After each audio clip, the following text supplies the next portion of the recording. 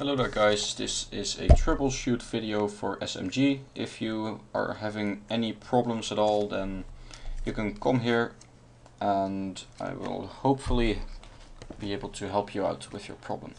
Uh, let's say you are editing one of these files and you messed up something, so let's pretend we messed up something like we did, uh, we just did a bit messy stuff, I don't know. Let's save it and let's see what happens to SMG. It will probably crash or something. Yes, as you can see, it has a crash. So if you have a crash, what you can do is just uh, take the config uh, folder, right click and delete. Verwijderen means delete in Dutch. And press yes and it deletes and then just reopen SMG it will uh, automatically recreate the configuration folder and it should be in defaults and it's working perfectly fine once again.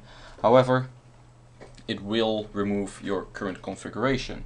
So if you do not want uh, your current configuration removed, if you messed up only this file, you can just remove this one and restart SMG and it's back again.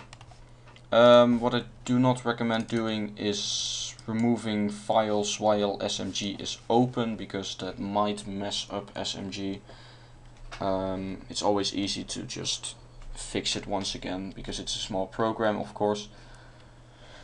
Um, yes, that's pretty much what I can tell you. If you're missing anything else you can just re-download the file. Um, yeah, that's it. Thank you for watching and I hope this helped. If uh, you have any other problems you can just uh, send me an email or if you have feedback send me an email, reply to one of my YouTube videos or post in one of my OBS threads. Thank you for watching and goodbye.